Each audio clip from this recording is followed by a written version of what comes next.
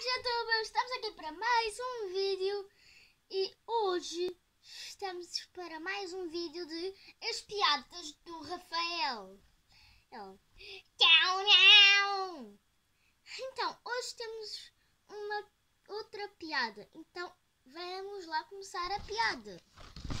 Um senhor estava com uma enxaqueca, ou seja, uma dor de cabeça. Depois ele, ele teve de ir ao médico e disse ehm, ao senhor doutor, eu estou aqui com uma enxaqueca. Então ehm, há algum remédio que dá para as enxaquecas? Então o doutor responde.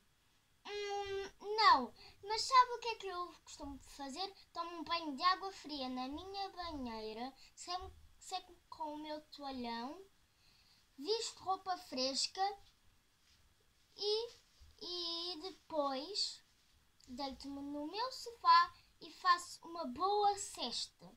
Tenta fazer o mesmo e, e volta cá para a semana. No dia seguinte, o, o paciente voltou. Então ele disse: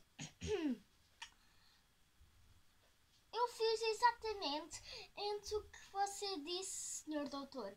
E resultou! As enxaquecas desapareceram! Parece magia! E, e depois.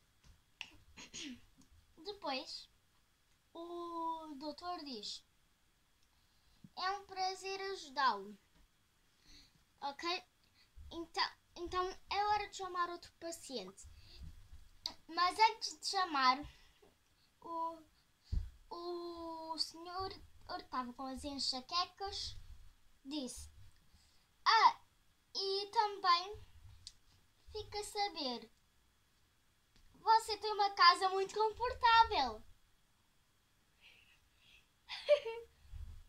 Entenderam? Era porque ele disse tudo que era na casa dele. Então, o senhor que estava com as enxaquecas foi à casa dele e fez isso tudo. Então. Tá, não, não, não, não, não. Piada concluída. Ok, este foi o vídeo de hoje.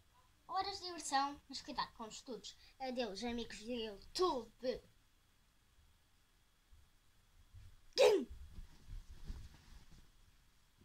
Estou morto. Mas estou bem.